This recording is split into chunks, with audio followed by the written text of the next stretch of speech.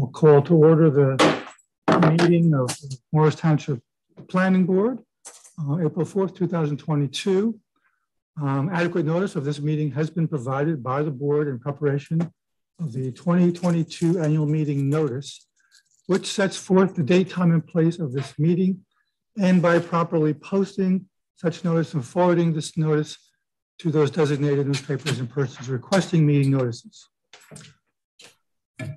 Moreover, in order to comply with the national and state declarations of the emergency related to the COVID-19 pandemic, I have this weird notice coming to my computer. Um, and in accordance with the municipal land use law, the Open Public Meetings Act and emergency remote meeting protocols for local public bodies, this meeting is being held virtually on a web-based platform with remote public access. Uh, would you please join me for the Pledge of Allegiance? Pledge allegiance to the flag. Pledge allegiance to the flag of the United States of America, to the republic for which it stands, one nation, under God, indivisible, with liberty and justice for all. Justice for all. Okay, thank you. Um, Jim will be our Sonia this evening. So Jim, want a roll call? Sure, uh, Mr. Uh, Chairman Benoit. I'm here. Mike Dunn. Here. Mayor Gyorfy. Here, and George Quillen has his hand up. He's an attendee. Linda Murphy. I'm here. George Quinlan. I think he's in the attendee. He's the attendee. Joe Alesso. Here. Kathy Wilson. Here. Tanya Van Order. Here. Jesse Flowers. Here. Jeannie McKay. Let's see her in yet. Uh, Steve Warner. Here. Liz Leahy. Here. Jim, it's George Quillen. I'm here. Thanks, George. Two, three, four, five, six, seven, eight. Now we have a quorum, Mr. Chairman. Did you get yourself there, Jim? I'm sorry, what? Did you get yourself? I am here, yes. You're here? Okay, I, great. Thank I you. felt it wasn't necessary. but Um, for the right. uh, first item on the agenda is a memorializing resolution on the, um, the Weisberger application. Steve? Yeah, uh, Mr. Chairman, thank you. Yeah, As the board will recall, this was the uh, minor subdivision relating to lot 41, 5 Edward Chippen Lane, uh, to two proposed lots. And the board uh, sought lot area variances for both proposed lots, uh, front yard setbacks for both proposed lots, and minimum lot width. Uh, As you know, we measured that at three different locations, and uh, there were three separate minimum lot width at various locations, uh, deviations required. Board did deny the application. Uh, I will readily admit I had the number wrong. On page 32, I had it by a vote of seven to two denied. It was by a vote of six to three denied. My apologies for that. I'd ask that any motion to adopt the resolution include that revision. Uh, and I did notice a couple of uh, items in the uh, what I call the voting matrix that need to be uh, modified. Uh, X's did not necessarily fall in the right boxes, uh, but we'll get that cleaned up so that it uh, accurately reflects the vote of six to three denial. Otherwise, I didn't have any changes to my own resolution that I drafted, but if any of the board members do, certainly we should hear them.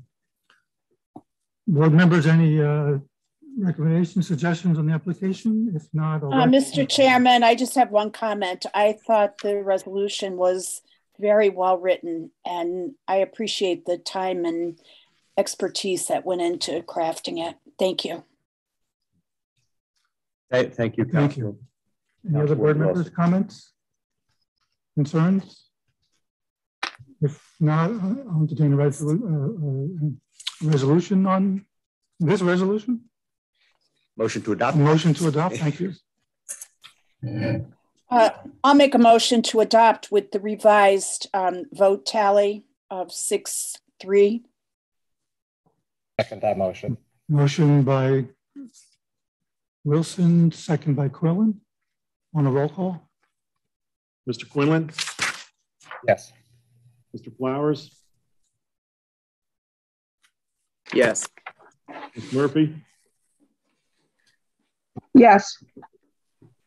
Ms. Wilson, Yes, and Mr. Benoit. Yes. Motion to denial is approved. Thank you. The Next item on our agenda is a public hearing. Jim, do you want to give a summary? Sure. So this is uh, application PB 16 21 for the Morris County Golf Club. It's block ninety-one oh one, lot two, 36 Punch Bowl Road. It's located in OSGU zone. And the applicant's proposing uh, upgrade to the uh, maintenance facilities and then also a new uh, halfway house and administration building.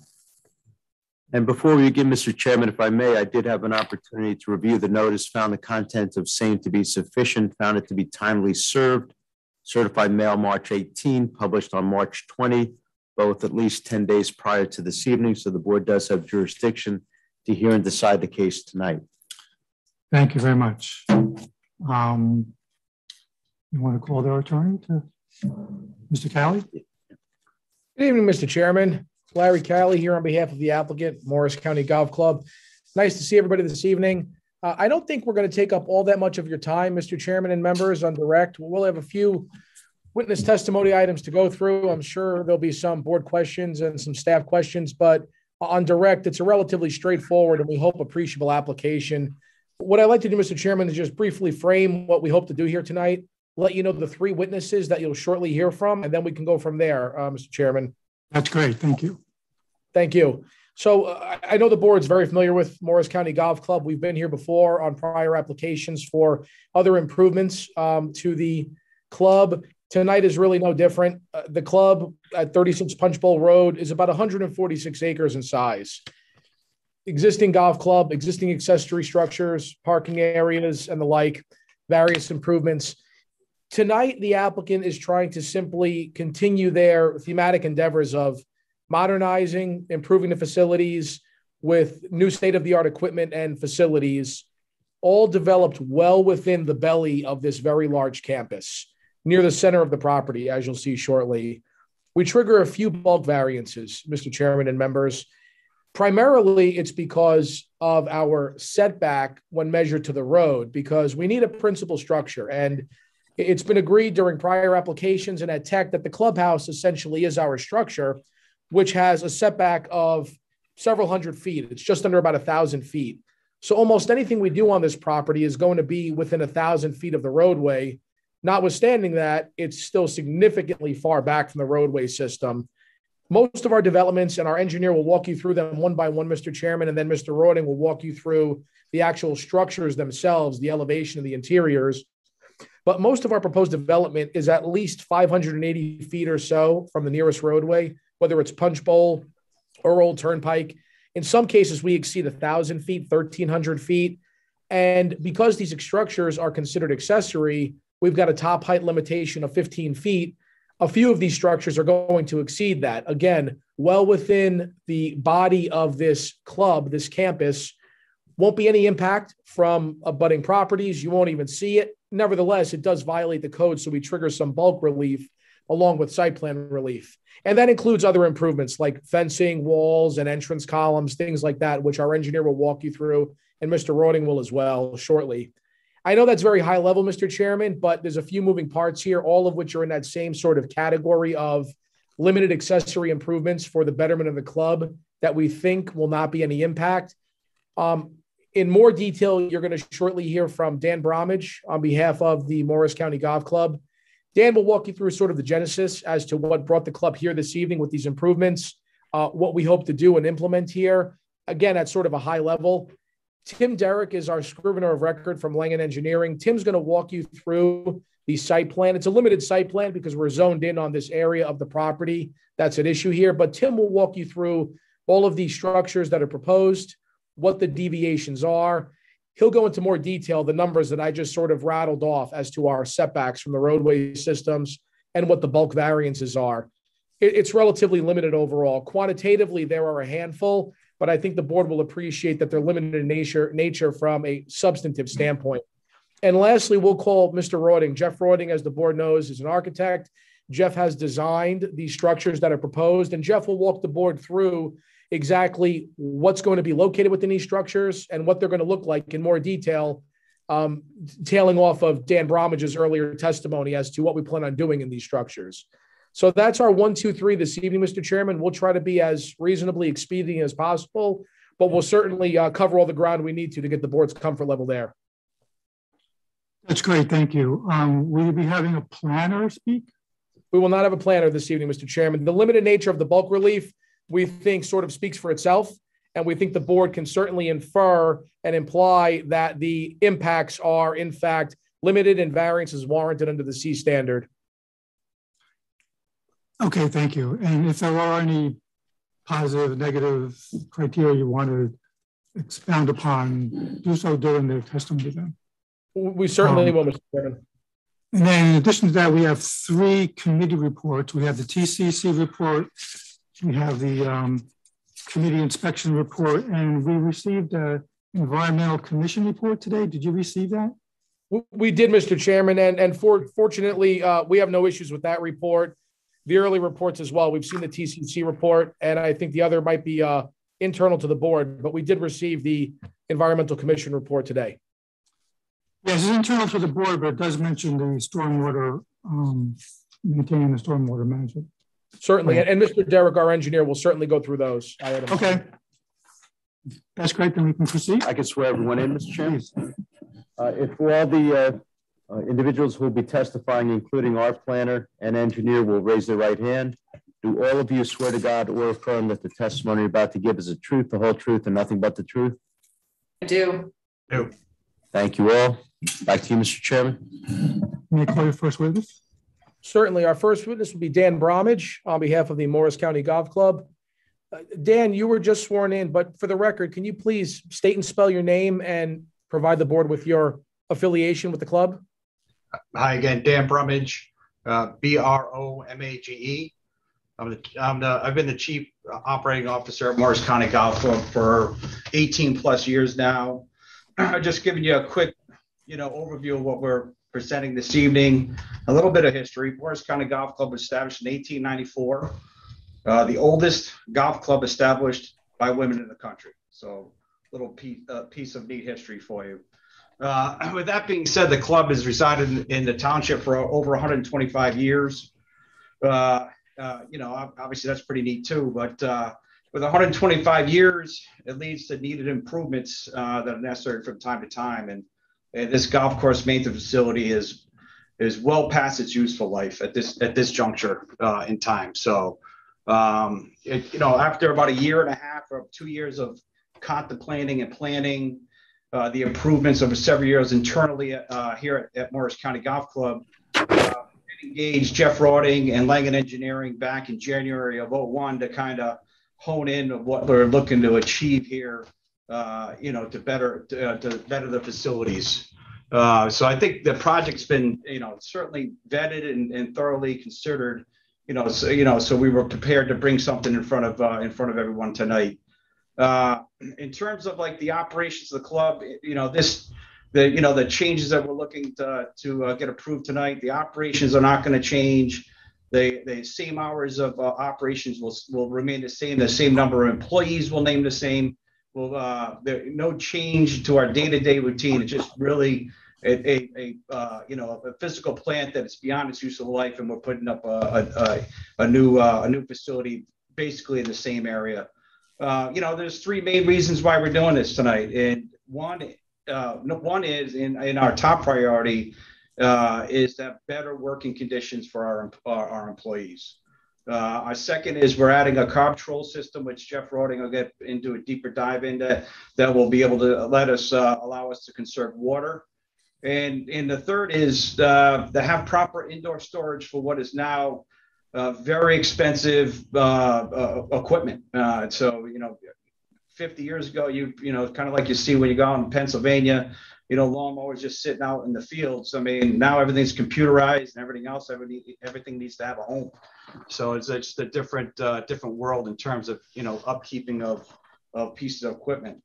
Uh, our proposal, obviously, like uh, like Larry, I think explained very well. It's kind of in the middle of the middle of the golf course, or you know, the, the impact around the surrounding area is really minimal.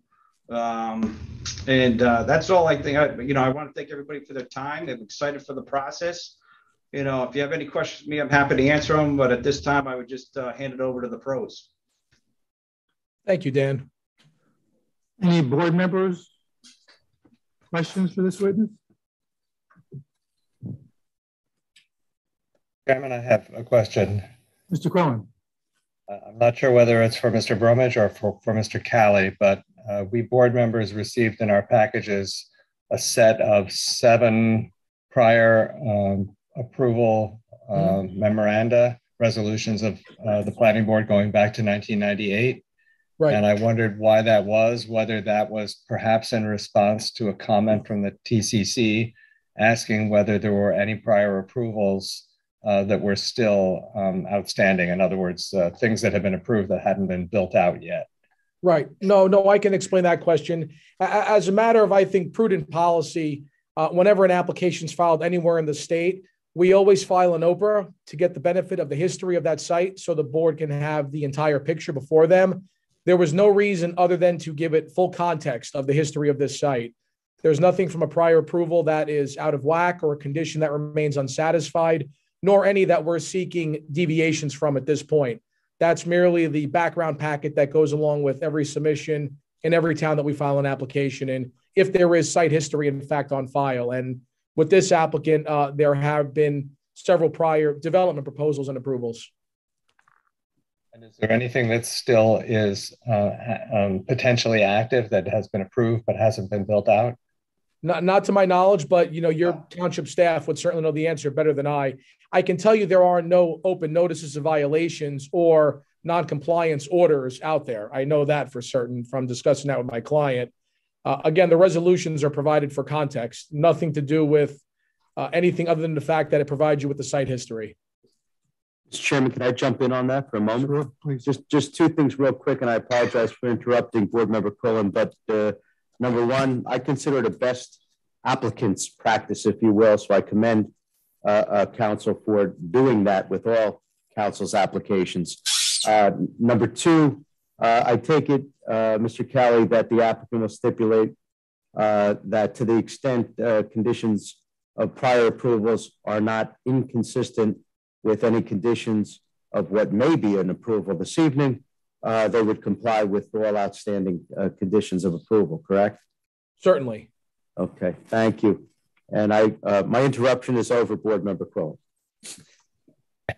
Uh, that's fine, and thank you for uh, for helping me. And I have no other questions. Thank you. Thank you very much. Thank you. Any other board members?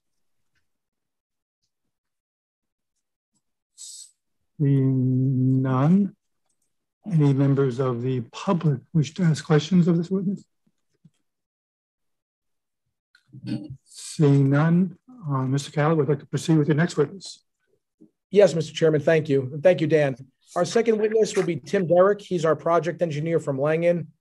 Tim, you were you were sworn in, but would you mind giving the board the benefit of your qualifications and background in the field of engineering?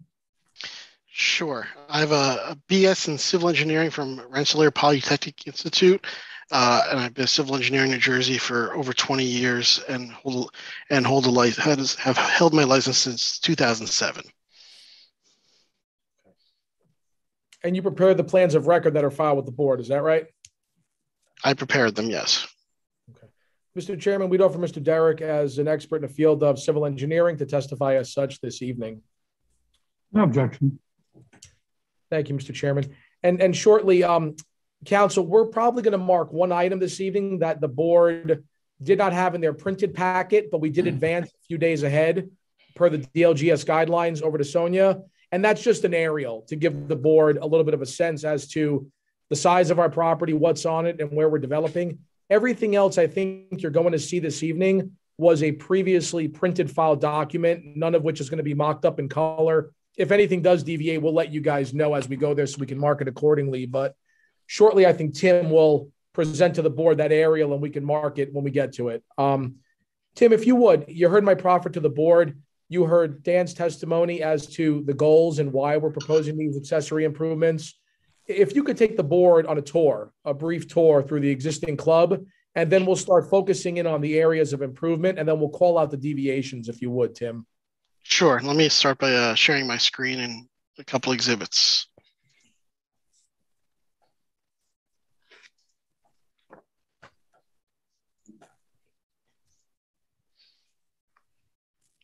Uh, so start uh, starting off here, this this is an exhibit that's a plan that's part of our plan set. It's uh, the overall site map and tax lot plan. It just it's a simple plan showing the surrounding tax lots and the club's pro- property, and then the project's orientation as as, as part of that that site. Uh, Can we just get the last revised date on that? It's it's it's all dated 224 2022. Thank you. And I guess as you can see uh, for this per this page, uh, Project North is page is paged up. Uh, the, the, maintenance facility is located in the middle of the property. St. Elizabeth's uh, University is, is to the south. Um, it fronts on Punchbowl Road to the south as well, and Old Turnpike Road to the and and a railroad to the west. Uh, and then oh, you can't see it on this map because it's it's mostly tax maps, but the, the Prescott Road runs through here. Uh, maybe it's appropriate at this point for me to flip over to the aerial aerial map that we prepared. It's kind of a little bit more descriptive. It's uh this Tim was not submitted as part of the printed package, I believe. Is that right? No, it wasn't submitted, but we figured we assumed, we thought it would paint a better picture for the board to understand where the project is and what and exists it, on site. And it does, but we'll, well, let's just mark it for a moment. So it's a Langan plan entitled Area Map, Aerial Map, dated 331 2022. Very good. Steve, okay if we mark this as A1? Uh, not only okay, preferred. Thank you. You got it. Thank you. All right, Tim. Um, I'm sorry. Please go ahead. Sure. Uh, so as I was saying, Punchbowl Road is to the south. Old Turnpike is the left. There's a railroad running through here as well. Uh, St. Elizabeth is here, Prescott Road, and then residential properties to the east. Uh, the project itself is located generally right pretty much in the center of the property. The clubhouse, as you can see, which creates the variances we'll talk about later, is over is on the east side of the property kind of sitting back from Punchbowl Road and accesses off of Punchbowl Road and the adjacent think, Delaware Road and the residential properties. Uh, one other little bit of work that's part of this application is there's some entrance entrance improvements that are proposed uh, at, along this driveway, which is internal to the club's property. Uh, the overall lot located in Morris County is approximately 146 acres, and this pro in the project area is a little is just about three acres. Uh, the site is low is zoned open space government use OSGU. Uh, and the and as I said, the current access to the clubhouse is, is by private driveway here, but the existing access to the maintenance facility is off of Punchbowl Road by, the, by, by a driveway that runs through the course. There's no proposed changes to this driveway. Uh, existing buildings on site are the clubhouse. There's a pool facility here, and then all then the maintenance facility, which encompasses several buildings. Uh, it's probably at this point I can probably zo- zoom in to to the, this pro, to the project area where you can see this is the existing shop building that will remain. There's an existing cold storage building. There's a small existing halfway house here, along with a cart storage building and material bins. These are just kind of open covered bin where they can store sand and other loose materials.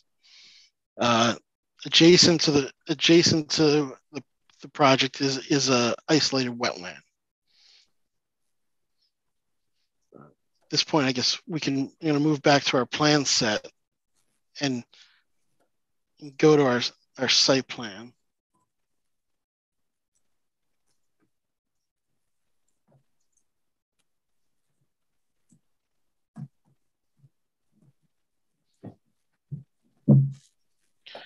So as part of the work, the shop building is, is will remain and be renovated. The cart storage building, which is located here, will be is a will be relocated to this location. The cold storage building is proposed to be demolished, and the halfway house is proposed to be demolished, and those will both be replaced with a new halfway house will also function as an administrative building and a new cold storage slash kind of fueling washdown and carb trawl area. Uh, there's also an environmental building, existing environmental building that will be demolished, and the and the material bins that are here will be, will be reconstructed to better condition. The entire, uh, and that's the, generally the entire entirety of the improvements in this area, as well as the associated parking.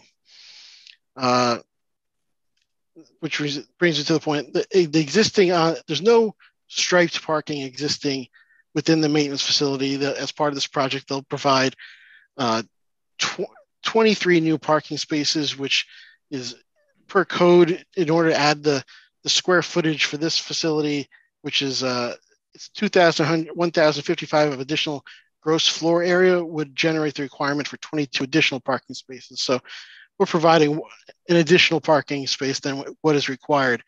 Uh, as per your code, open, cold uh, storage facilities do not generate a requirement for parking. So the car storage, the, the cold storage area, and it's really just the halfway house, which is an administrative facility, which is generating the parking requirement.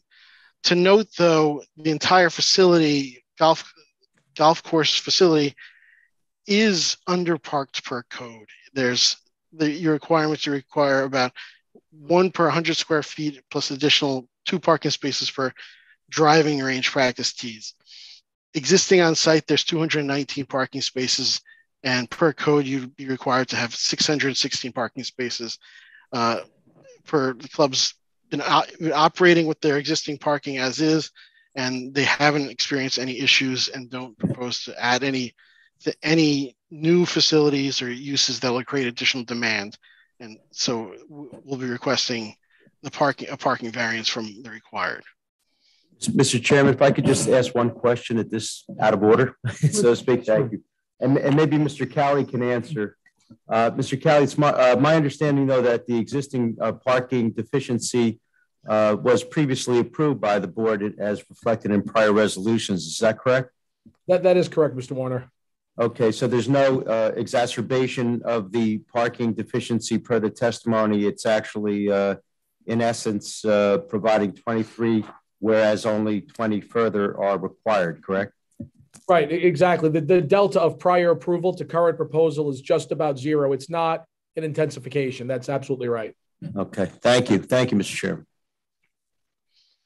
Uh, I guess, and the, the final point as part of this work as part of this project is I get for the site plan wise is there are existing trees that that needed to be removed as part of this this plan. And I guess and a permit was previously obtained to remove trees within this project area due to some tr- the limitation on, re- on removing trees due to the presence of the Indiana bat. Uh, and I get and at this point I'll kind of go through what the variances are. As we as we described, the in this zone, there's no there's not the bulk variances are are kind of left to the discretion of the board, but there is a requirement that the accessory buildings can't be any closer to the road than the principal building. The principal building being the being the clubhouse, which sits just under 1,000 feet from Punchbowl Road and 2,800 feet from Old Turnpike Road, creates uh, creates a need for a variance for the new and existing buildings.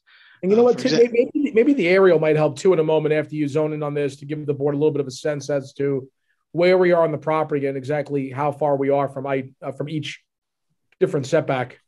Sure. I, just to get to to note on your plans, there is there are dimensions that we've called out for the distances from the building buildings to the surrounding roads, just for your reference. But per kind of to Mr. Calli's point,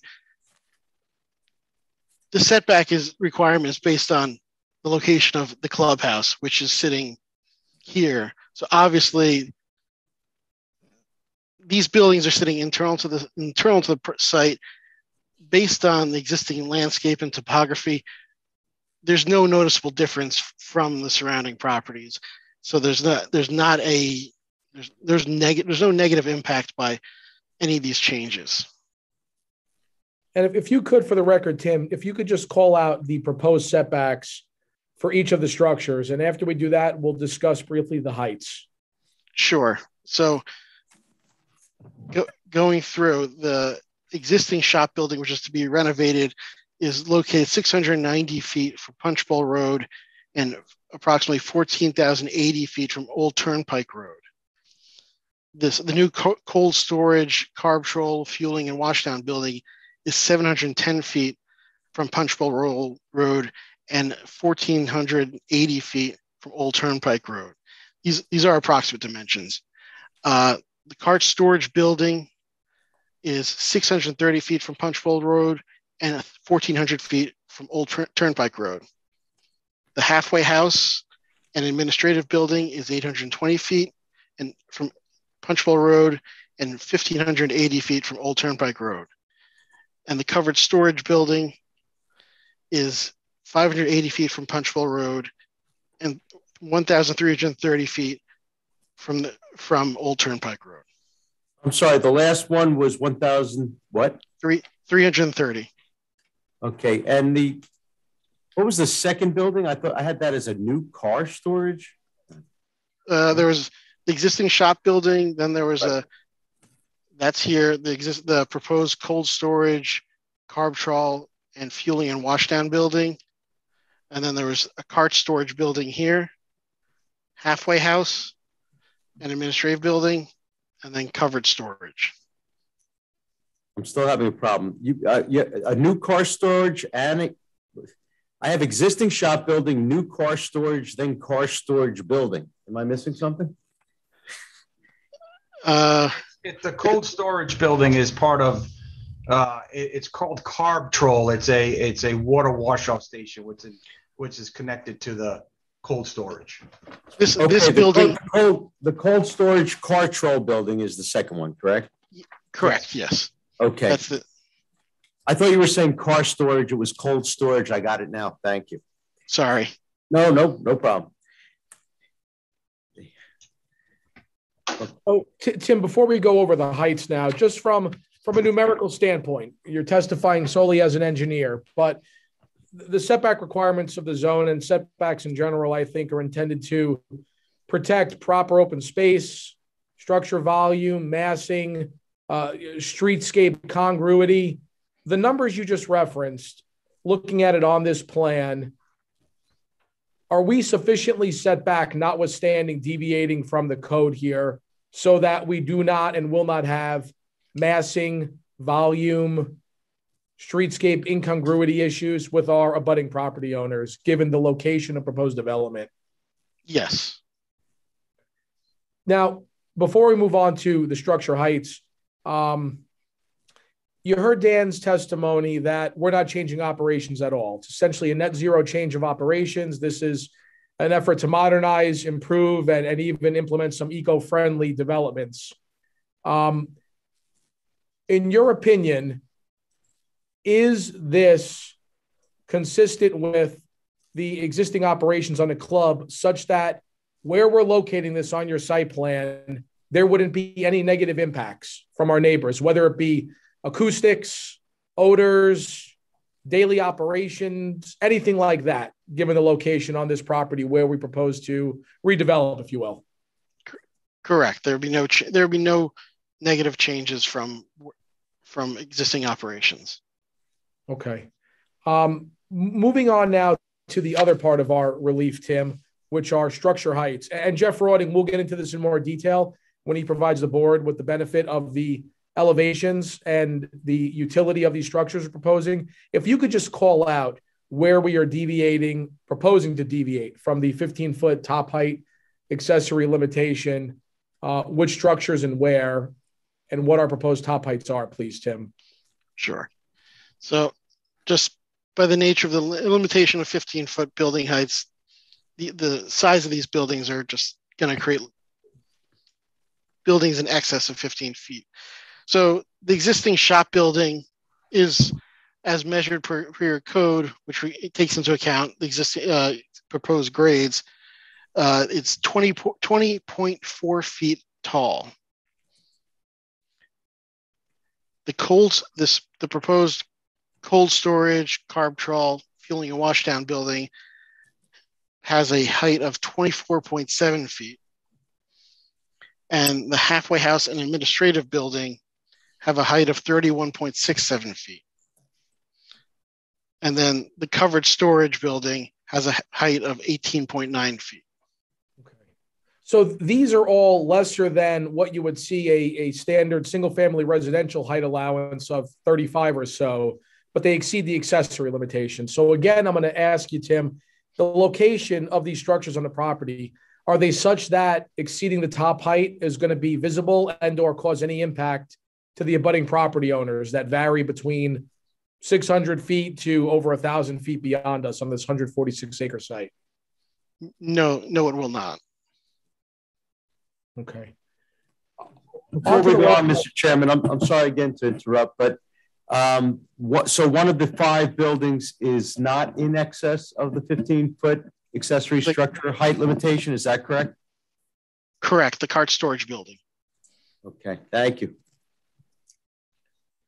So the last item, Tim, I want to go over before we turn you over to questions of the board and their professionals is we're proposing some other nice improvements, if you hear, some other amenities. And you mentioned them earlier, the columns, um, the walls.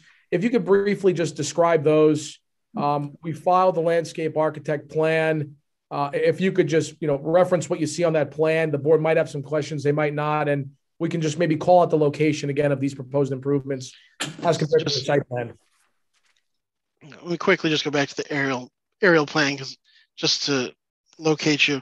So there's also some additional improvements the club is proposing at this internal entrance on off their internal driveway to their club. It's uh it's some landscaping and columns as depicted on uh, drawings provided to to the board. Uh, it's it's a set of columns and landscaping located near their driving range, if that if that helps you. Uh, includes some proposed cobbles and columns and and uh, landscaping, and you can see the different views of what they anticipate. Okay. You're referencing the conceptual plan for entry pier area, not for construction, is the title from the distinctive Correct. design and management dated Correct. November 16, 2021. Yes. Thank you. Thank you. So Tim, the, the final question I have on this is there are height limitations for these types of structures, and um, they've got to have some level of transparency, right? They can't be fully opaque. These are not. So, as an engineer, my question to you is Will these developments, if approved and if developed, interfere with any sight distances or create any type of safety issues for whether someone walking or a passenger vehicle coming by and through these structures? No, no, I wouldn't. I wouldn't believe so. They're set back from the intersection, and they're okay. Uh, Tim, you had an opportunity to review the Environmental Commission's memo. I think it's dated March 15, 2022. Um, yes.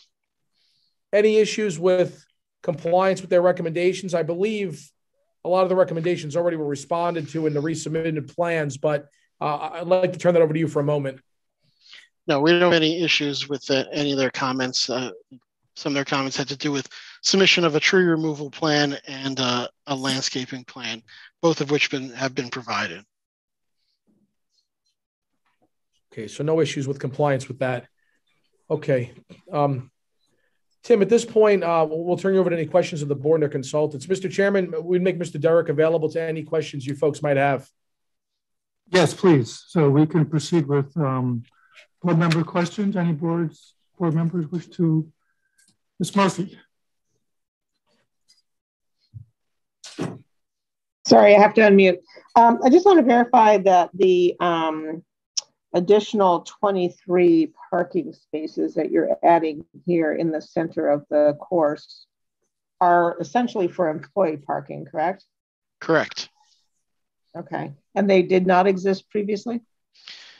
They did not exist as striped parking spaces currently. Okay, but employees park there just not in striped parking spots. Correct. Okay, thank you so much.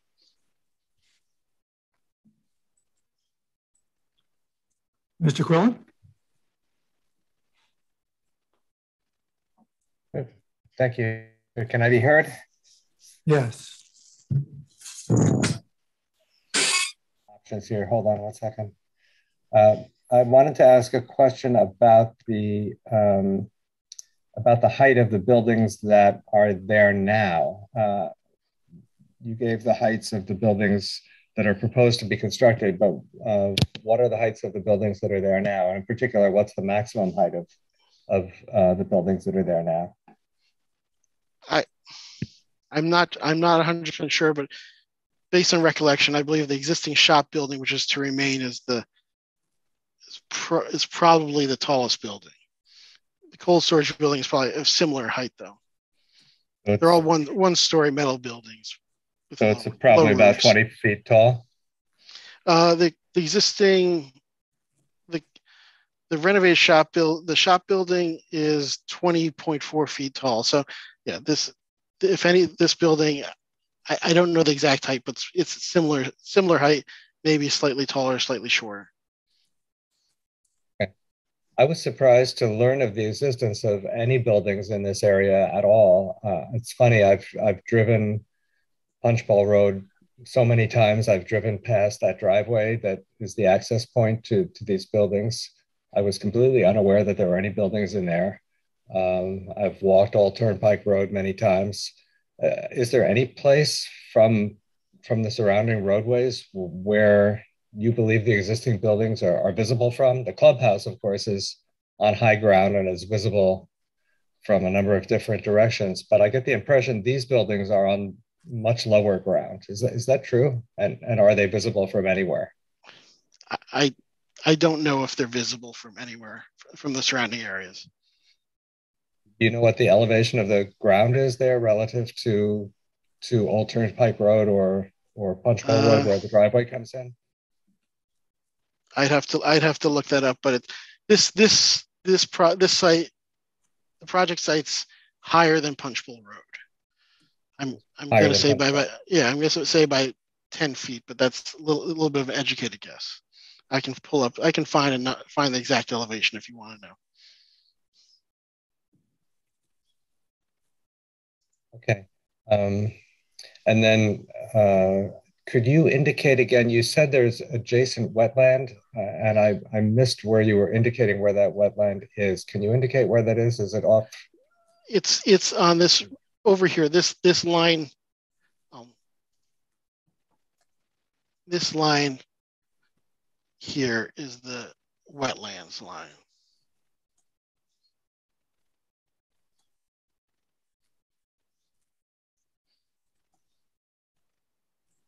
And it's an isolated wetland, so you can see the uh, opposing side.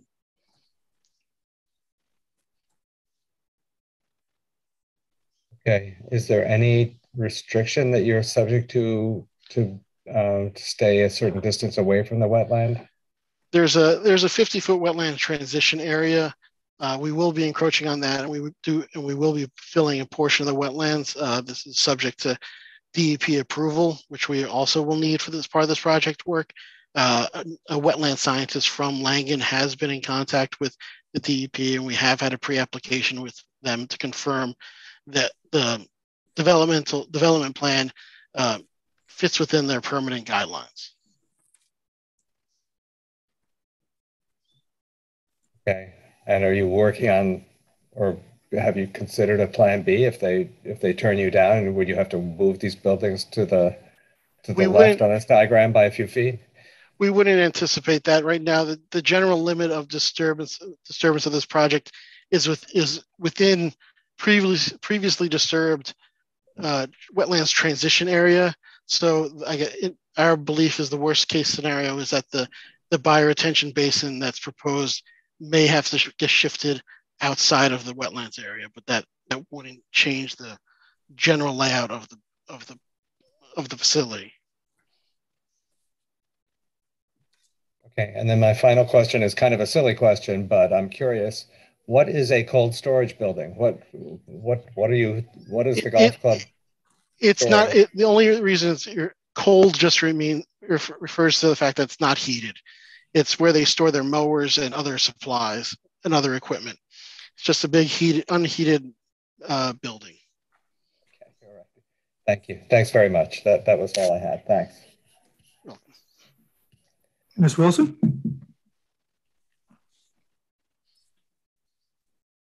Thanks. I had to unmute. Um, and I had this similar questions that were already asked, but uh, just a couple others. Um, are, are you going to be providing any further testimony on the landscape plan? Or Uh, just we- reference it? Like, um, I would I can reference it and discuss it briefly if if you like. Um, I just had one uh, question or point about that. I, I noticed on the landscape plan that I had that it referenced in uh, one or a couple of locations that you were planning to put Norway spruce in. And I just want to highlight that we have been making available to applicants uh, a document that our environmental commission has created. Do not plant list is what we call it. Okay. And, um, I, I, I guess I'm asked. It, it, it's a it's a voluntary list. It's not mandated, but I, I guess I would ask that you uh, take a look at it. And the Norway spruce is one of the um, plants that's requested not to be planted. So there are there are alternatives listed in there, and I would um, ask that you take a look at that list. I'm I I'm not sure. Maybe Jim knows. Have uh, has that been sent? I guess it has not been sent to the golf course, right? I'm talking about the do not plant list. I'm not aware that it's been sent to them. Thank you. So can we send it to them and uh, request that they read it and comply with it? Perhaps the Environmental Commission can uh, send that to them or send it to me and I will forward it to them. Okay. Okay. Um, one question about the um, the aerial picture that you showed. Um, the internal entrance to the club ends um, where it, it doesn't go. It, it's it's well. How far away is the entrance to the club from Punchbowl? Uh, to the are you, are you talking about the entrance of the clubhouse? Yeah, you're putting you're putting the um, improvements at the at the driveway entrance right over here, right? That you showed. Right here. your- yeah. So the the the road that comes in front of that that that that is not owned by the golf course, correct? The golf course property begins where the entrance that you're making some improvements on begins. Is that correct? Uh, the, the, cl- the club, the club owns, uh, owns that property. Owns the road? It, yes. Okay. Okay, so that I didn't know that. I thought that was um okay. I appreciate that clarification. And also I would just like to ask for any comment you may have on like uh, uh, Uh, uh, has has any of this work been like has has it been started already? Any of it? The only thing that has occurred is, is some tree removals. Some tree removals over on the where Over- your cursor the- is over there. Over, yeah, for the maintenance facility. Pursuant to a permit, Tim, just to be clear. Pursu- yeah, sorry. It was pursuant to a, a tree removal permit that was submitted by by the club. Okay. Very good. Thank you. Ms. Van Order? Thank you. Thank you very much. I just had a quick question, and it could just be that I, I was having a difficult time hearing some of the words uh, or, or, just distinguishing numbers. So I, I, think I heard you say, and I, I completely understand that the club has um, a, a, a, a, parking deficiency that's already been approved by previous planning boards. I, get that concept very well. Um, I understand that this additional square footage that you're adding is triggering um, a, a, number of parking spaces uh, uh, slightly less than what you're proposing. So uh, to be to just understand the you had said that the required per code. I, I wrote down 660, but I was wondering as I heard it, did you say 616 or did you say 660? Um, I said as, six, I said 616. Thank you. Okay, so I was um, not hearing that correctly. I appreciate that. And uh, just to clarify, 219 exist. Uh, there are these informal, uh, not non-striped uh, spaces that will become formal. Uh, 23, I think you said, for a total of 242. Is, is that correct? Correct. Thank you so much.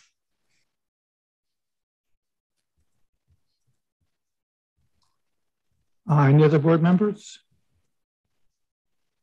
I have a quick question. Jim, do you need to um, look at or approve this the um, base storm basin? Yeah, I have, a few, I have a few questions related to uh, stormwater management. Okay, great. Is that part of the TCC that. report related to that? It's uh, outside of the TCC report. Okay, well, do you want to proceed then? Sure. Uh, you know what, um, Tim, can you just give us a basic overview on the, uh, you know, what's proposed as far as stormwater management goes first, and then I can, uh, I'll ask my mm-hmm. questions. Sure.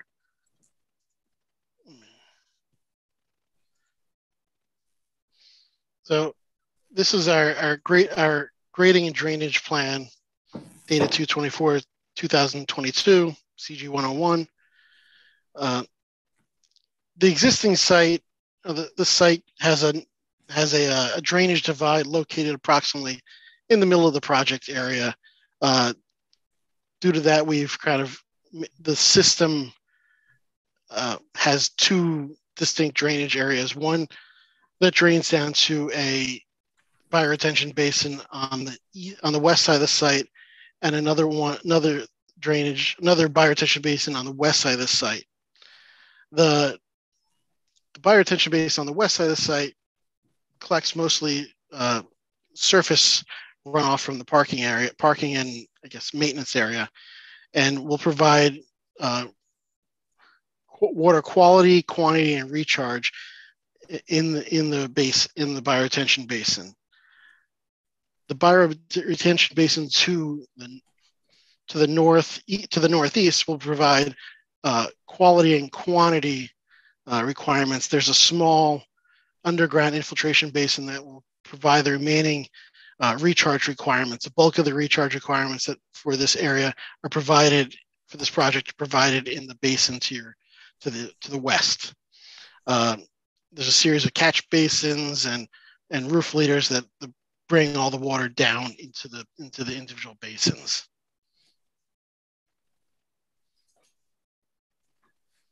My, my questions, you know, first question relates to the emergency spillway.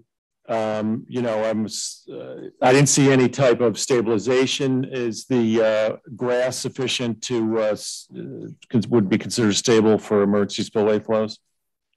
Is that something that was investigated? I, I, I, will, I will need to confirm that. Okay. And if not, if stabilization is required, you're willing to uh, install that as part of the project? Yes, of course. And uh, I, I, note on your details for the uh, outlet structure, it's a, a box type rack um, for the uh, for the low flow orifice. Uh, my recommendation would be some type of sloping trash rack. You know that design should be modified in order to help facilitate maintenance.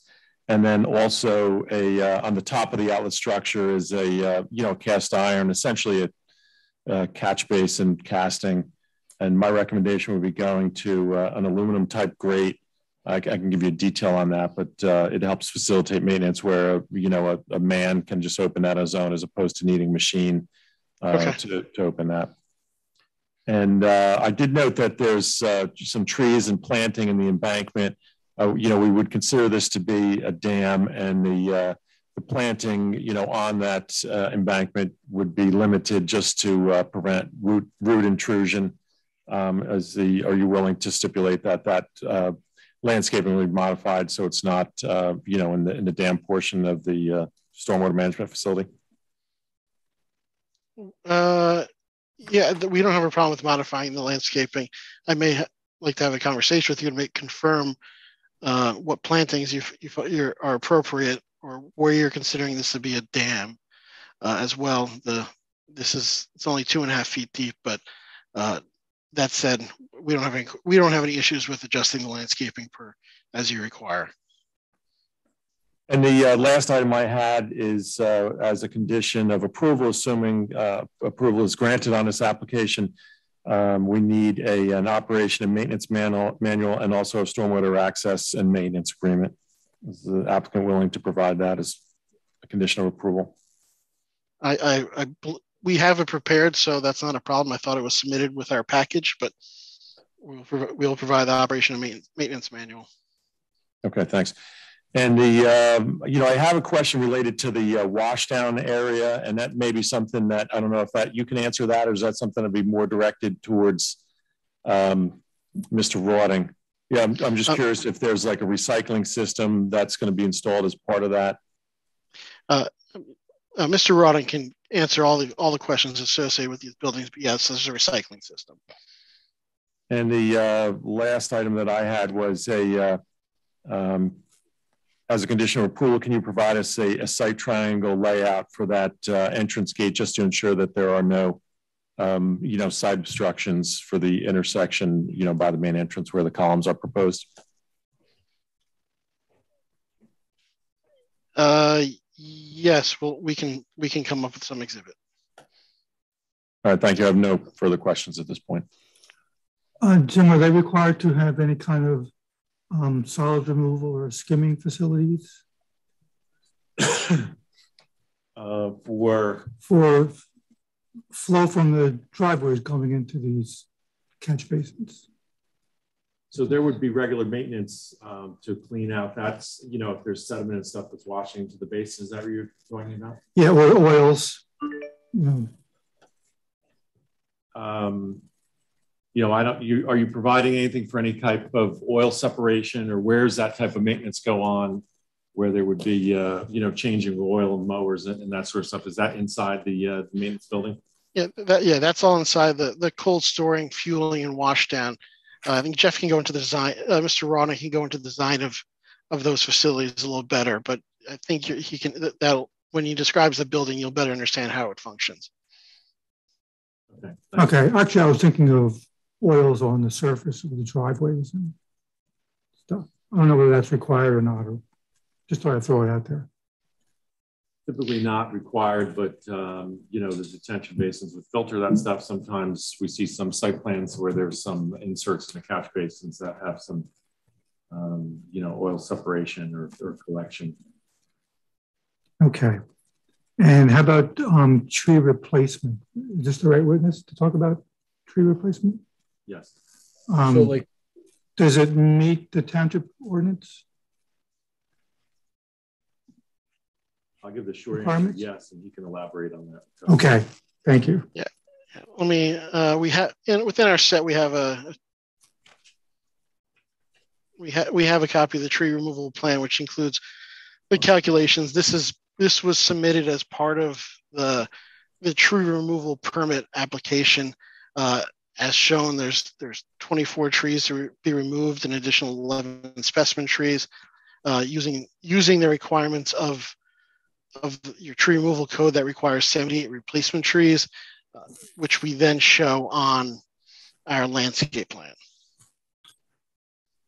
Are you searching for a waiver for evergreen versus deciduous, or this is all deciduous? Is there, I guess, I, I, is there a requirement? Question, I guess that's a question from I have. Is there a requirement to not use deciduous or evergreen trees as replacement trees? We I didn't read that in the the tree replacement requirements.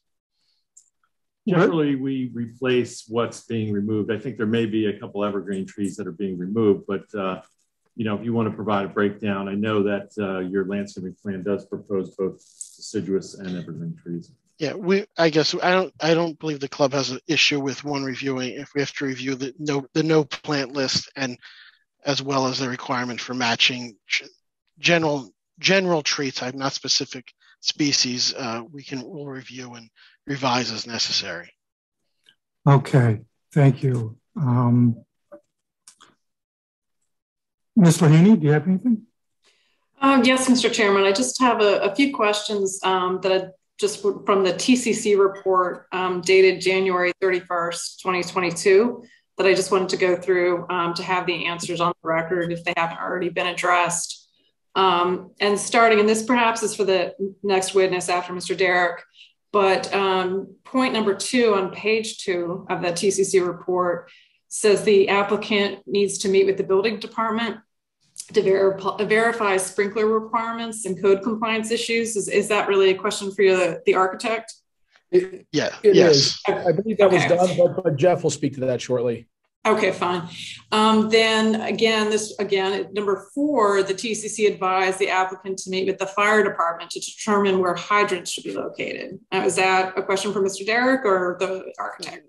That, that was me. I had a conversation with the fire department and locate it, and we show a, we show a fire hydrant per their request. Okay, great. And um, the other thing, point number six, uh, the TCC advised that the applicant to confirm that there'd be no variance needed for retaining wall heights. And I, I noticed that there is no indication on your site plan that you need a variance, but I just want to confirm that. We do not need a variance for retaining wall height. Okay. And then I think uh, the next one, point eight, uh, oh, this is uh, depicting the regulated wetland and transition area. And you, you did do that, I saw that. Um, then number nine, um, and again, this might be for the following witness, but the TCC advised the applicant to confirm and provide documentation to the building department that there are no open permits associated with any prior development approvals. And you, I believe you testified to this already, but I just want to verify. I think I think I'm not sure Tim can confirm that. Jeff Roding will be able to though. Okay, that's fine. Uh, those are all the comments I have, Mr. Chairman. Thank you. Um, Mr. Kaplan, do you have between you and Steve? no questions, Mr. Chair. Okay, thank you. Um, I'll open up these uh, questions to members of the public who may have questions. Any members of the public wish to ask questions of this witness?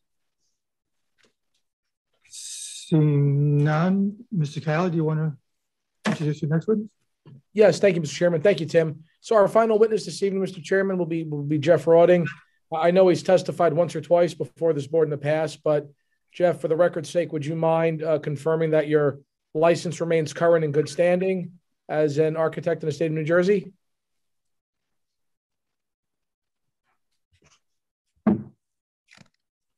You're muted, Jeff. Still muted, Jeff. How's that? Better? Gotcha. We got you. Okay. Yes, my license is current. Thank you, Jeff. Mr. Chairman, we could certainly voir dire Mr. Roding further, um, or the board can accept his qualifications as a licensed architect. That's how he'll be testifying this evening. No objection. Thank you, Mr. Chairman. So, Jeff, you heard you heard Dan's explanation and the story as to what brings us here this evening for these much needed and desired improvements for the club. Club Tim brought everybody sort of on a tour around the lay of the land of the club that we've got today on this 150 acre site. Uh, if you would, Jeff, maybe go in a little deeper into these structures, showing the board what they're going to look like, um, comment on whether or not we think we're going to see them from abutting properties. Not that that's a bad thing if you saw them, but the expanse of property, I think, is such that they're going to be pretty much dwarfed, notwithstanding the quantity and size of these structures.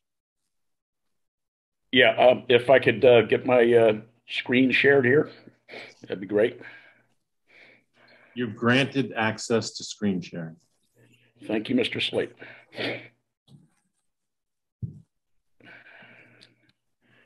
Uh,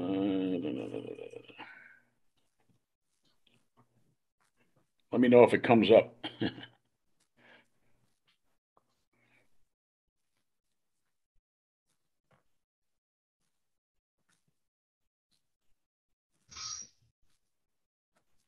All right, let's try this again.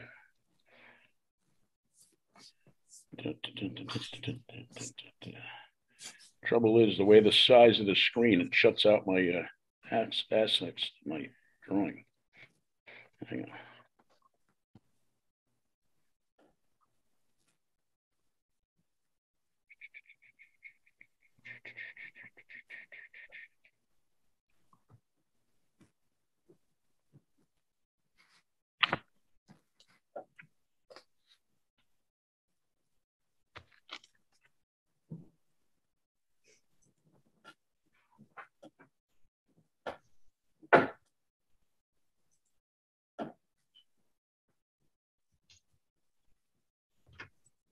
All right, here we go.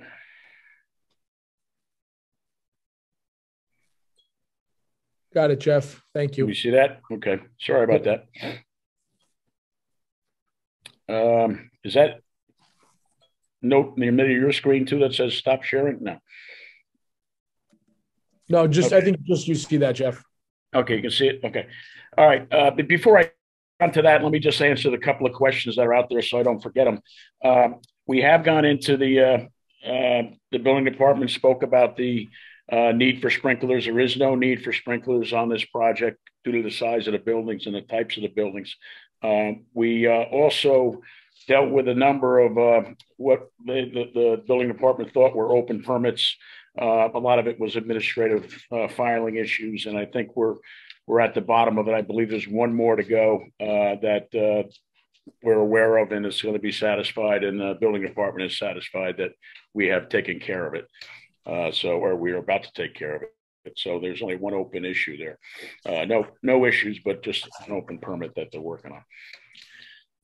So uh, we're we're uh, we're looking at uh, essentially four buildings that we're working on and one that we're relocating.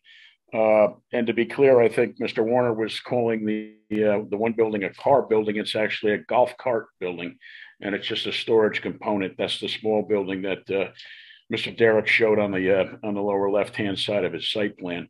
And immediately to the left of that was a, a plan uh, for material bins. Um, for those who don't know what material bins are, essentially it's a it's a shed that allows them to put golf course material, product, sand uh, for the golf course, uh, soils, and uh, and the like in a uh, storage component.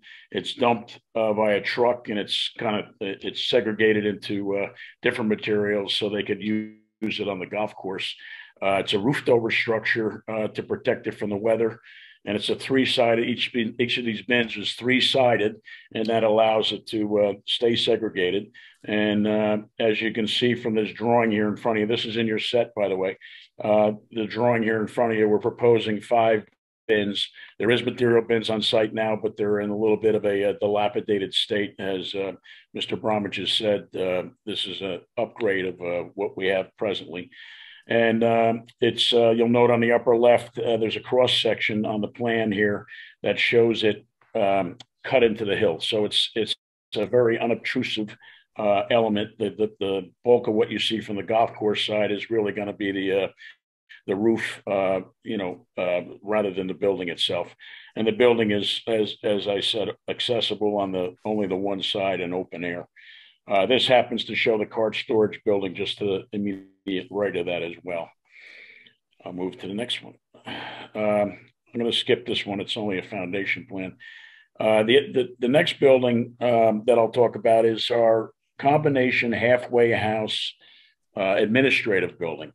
Presently, there's a small halfway house uh, on the left-hand side of the site plan uh, that will be replaced by uh, essentially this this building. Now, this building is combining both the halfway house activity and uh, the administrative aspects of the superintendent's uh, staff. Um, which is presently located in the shop building, which was the existing building that uh, that uh, Mr. Derrick talked about that is going to stay and be renovated. The renovation of that building is essentially to move the the uh, administrative offices out of there and move them into this new building, and then just take the area that they vacated in the shop building and uh, use that for more storage. So it, it's this is an upgrade of what would be the uh, staff's uh, uh, uh, space. You know, new locker rooms, uh, new break areas, uh, office space for the super and the assistant superintendents. I I showed you the one the one plan there was the lower floor. this this building too, you'll see by the elevations in a minute, is kind of stepped into the hillside. the lower part of your your page here is uh, on the uh, maintenance yard side, and the upper part is facing the golf course. The upper part has the uh, has the uh, halfway house in the middle, and then the lower part uh, has the break rooms and the locker rooms and the like on the on the on the back side, opening up to the bottom of the hill. Then on the second floor, uh, there's the superintendent's office, access by way of the stair here. There's an assistant superintendent's office, a bathroom, uh, the super's office, and another bathroom. These are all under roof, uh, so they're they're more or less uh, in keeping with the style of the main clubhouse. So uh, this sheet here shows the elevations of the building. Uh, the upper left shows you the side elevation. You can see where the grade changes there. Uh, so the right hand side is the maintenance side. The upper side here is the halfway house side. And the, uh, the elevation to the right of that is the uh, facing the halfway house. There's access to the halfway house internally on left and right, and then there's a member's bathroom uh, proposed on either side of that. So anybody coming off the ninth hole uh, has the ability to use the bathroom or get a, a bite to eat and then continue on. Uh, these upper dormers are actually in the uh, the uh, superintendent's office up top, which is under this roof here. And then going to the lower left, this is the elevation that you would see on the maintenance facility side or the driveway by the maintenance facility uh, between the, the halfway ha- or the admin building and the cold storage building.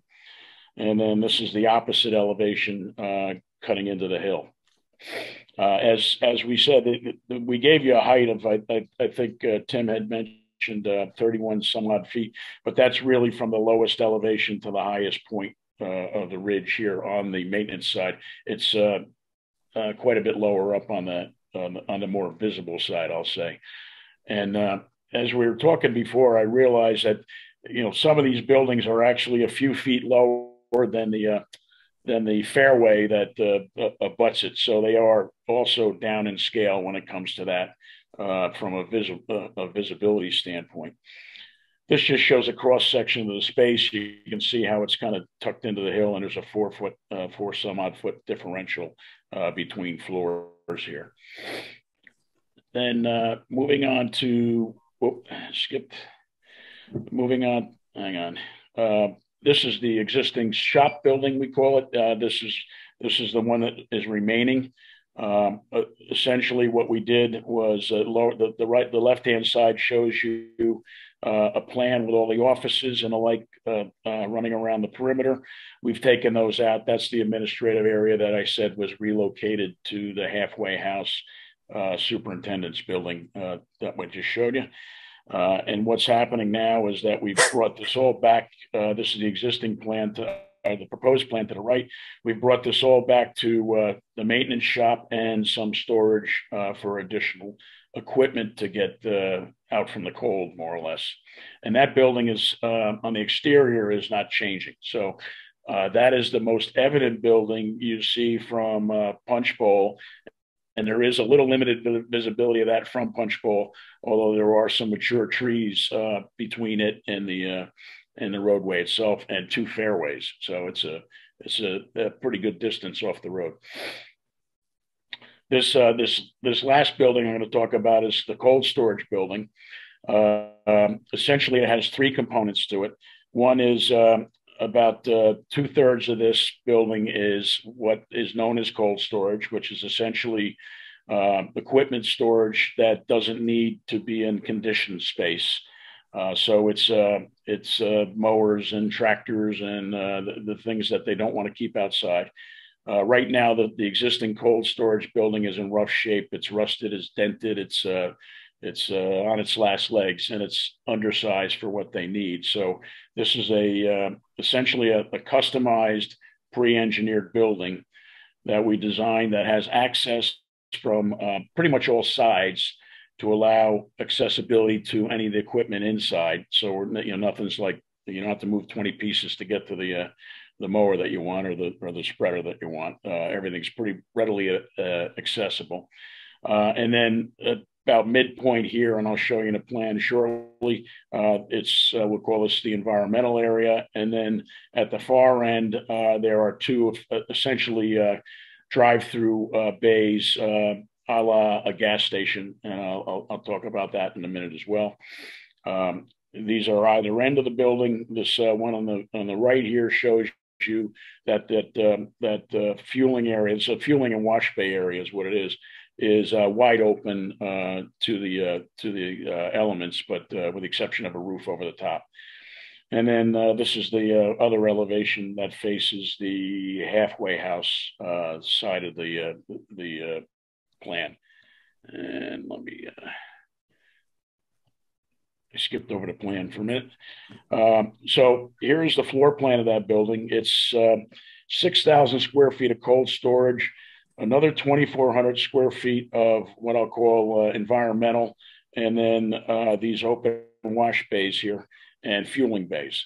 So the way this works is the uh, equipment either in the morning or after after use uh, would come into uh, these open bays. There's there's uh, the ability to, to put you know four or five pieces of equipment on both sides of the uh, of the aisle here, so they could be uh, washing it down or fueling it, um, fueling the equipment from a fuel tank here. It's a split fuel tank above ground, what they call a ConVault system, which is a so I think it's a thousand and a thousand gallon split diesel and and regular fuel and um, they use a hose. They fill up their equipment, um, and or if they're washing down, there's a wash down component over here with power washers and the like, and they wash off all the uh, the uh, fertilizer or whatever's on the equipment, grass clippings and everything else. And that is all collected. There's a drainage system that's part of this wash bay area. That's all collected in that drainage system. Uh, this is kind of curved area too, so it's all contained within here and that uh, all gets recycled through a through a, uh, recycling system in this little portion of the building here. Uh, the system that we're using is a system called Carbtrol. I think um, I know Jim's familiar with it because we we proposed it for Springbrook Country Club as well. Uh, essentially, it's a state of the state of the art uh, piece of equipment that um, uses carbon to filter out all the impurities in this recycled water.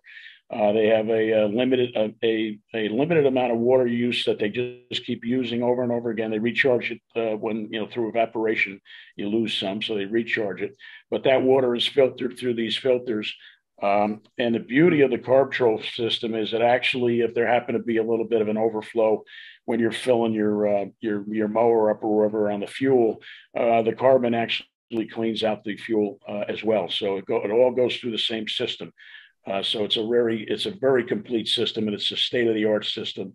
Um, so environmentally, uh, like every other club uh, that's not up to speed uh, with the environmental aspects of uh, th- this is not mandated, by the way. This is a voluntary thing to upgrade state of the art, but uh, there's a lot of clubs that'll wash just open air, and and you know essentially the grass clippings will go where they may, and whatever's on the mower goes where they may. Uh, that's a common practice in a lot of golf clubs. Uh, these guys have taken the, uh, the, the step to really upgrade their uh, environmental uh, stewardship. So the other the other aspect of this is a, chemical mix area for fertilizers and the like. It's a system that you know uh, premixes uh, stuff, and they there's a there's a central location here that'll that'll uh, allow them to fill their sprayers, and again that's to the filtration system as well. So if anything is uh, overflowed or spilled, goes back through the filtration system. And then this upper area on the top here is really just storage, palletized storage for the chemicals and the fertilizers and the like that have to be uh, used into the uh, in, into the mix system or used in the spreaders and and uh, spread on the course. Uh, so this building also has a uh, a proposal for uh, interior mezzanine over the center here that could add another couple thousand square feet of excuse me of limited storage and when I say mezzanine, it's really for uh, you know items that they don't use often that they would forklift up on top of the mezzanine uh, just to save some uh, physical floor space. Uh, so it's not a, it's not a mezzanine for occupancy. It's a mezzanine strictly for uh, storage of materials that they don't have to get to on a regular basis. that's my direct, and I'd be happy to answer anybody's questions. Okay, board members, any questions for the architect?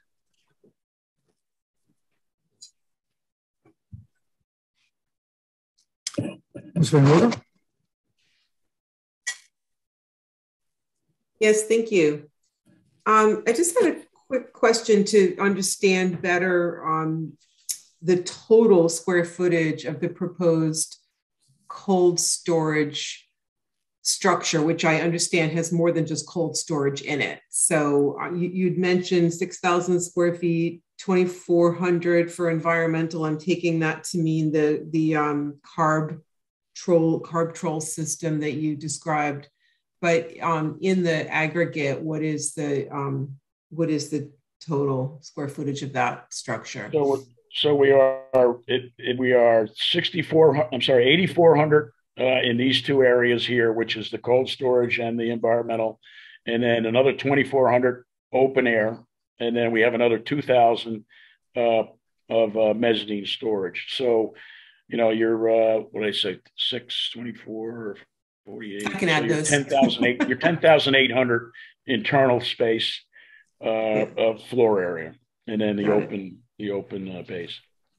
And um, in the the structure that's currently there that you described as dilapidated and you know out of date and no longer functioning or you know not repairable clearly it's understandable that the applicant wants to um, upgrade these structures i'm just wondering as a comparison what is the size of the current the oh, current structure so that, building, that, meets this uh, need yeah, that building is six thousand is, is six thousand square feet cold storage. So it's basically this this this portion of the building here.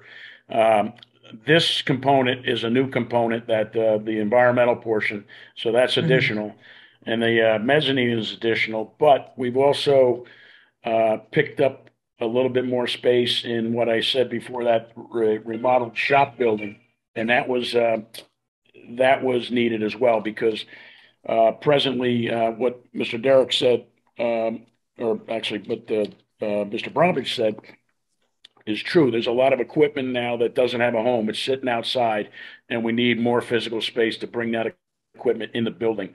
Not only is it, uh, you know, kills the, the, the life of the equipment, it's also mm-hmm. not something that's, uh, you know, you, you really want to look at from the golf course either. You know, so they want to they want to really clean it up visually as well. I understand. Thank you. That uh, thank you for that explanation. Um, I, I, I, listened carefully to the Carbtrol uh, filtration system explanation, which was quick, and I'll need to probably Google that a bit. Um, it's very interesting, and, I'm, and I applaud uh, the applicant's decision to make the upgrade to this sort of system. I'm also just curious, what are they currently doing, or what have they historically done to wash away uh, to wash this equipment um, just they, as they a have point a of comparison. Pad. Yeah, they have a wash pad, outside wash pad that uh, goes into a sump uh, where they collect everything in a bucket and they take it off, which is better than most because most just let it fly onto the uh, onto the uh, uh, the open ground. So um, I think that uh, they're they're not a not a bad offender but they're going to improve themselves quite a bit with what they're proposing here. Thank you very much. I appreciate your answers. No problem.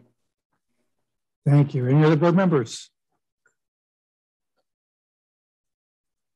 I too would like to commend you on the environmental aspect of this.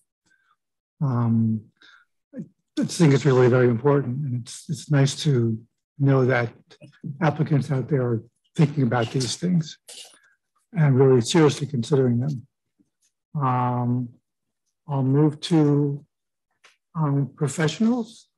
Jim, do you have any questions? No, no questions. Uh, Liz?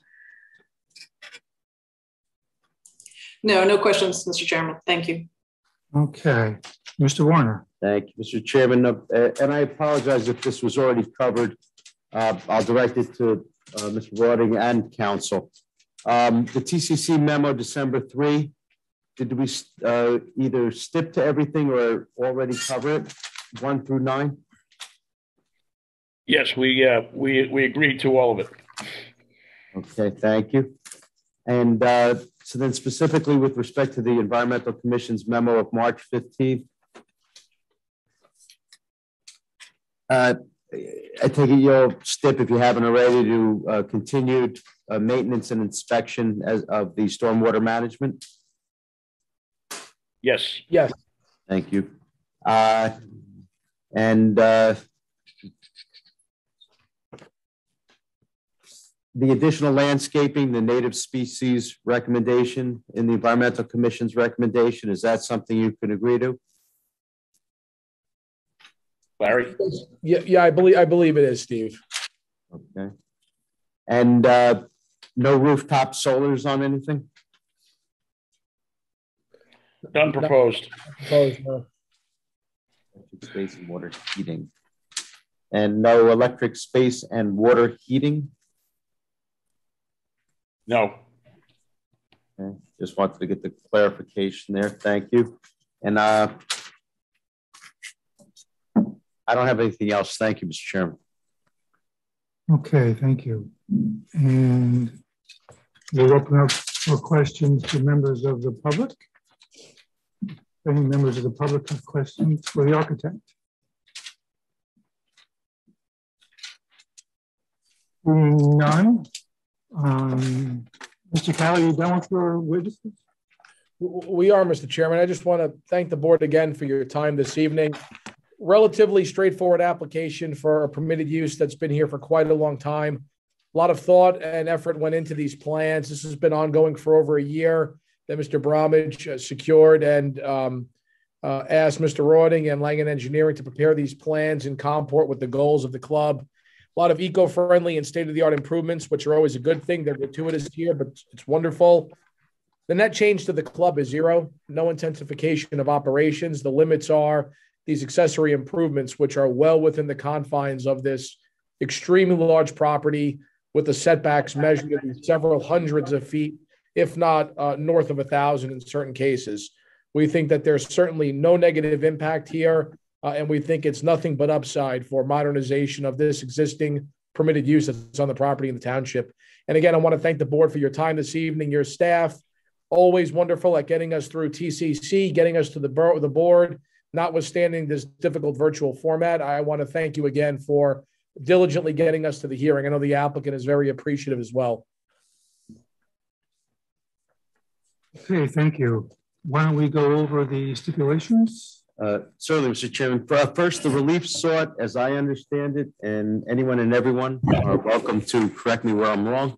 Uh, the uh, preliminary and final site plan approval and bulk variance relief. There are five identified accessory structures that technically are in the front yard. Uh, did we open it up to the public for comment? Not for comments. Very good. Thank you. Uh, that's why we have a Thank you. That's why we vice chair. Our vice chair, I slipped, as did the chair. As did the chair, I I opened it up for questions for the witness, but But that's why we have a vice chair. Should we interrupt and do that now? Please, please do. So let's do that. If any members of the public have comments on this application, please feel free to raise your hand and uh, make comments.